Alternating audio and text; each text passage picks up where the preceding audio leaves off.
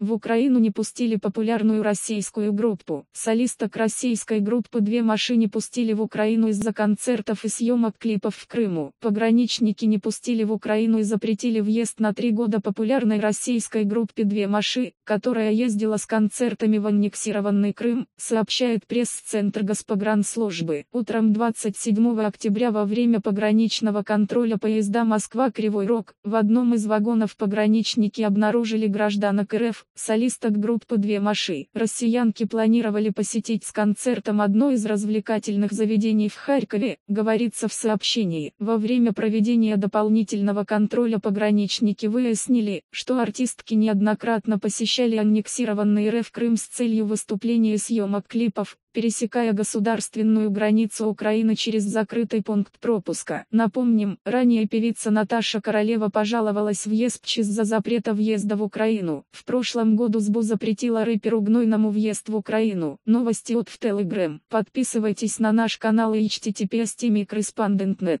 По материалам сайта Newsgro.com.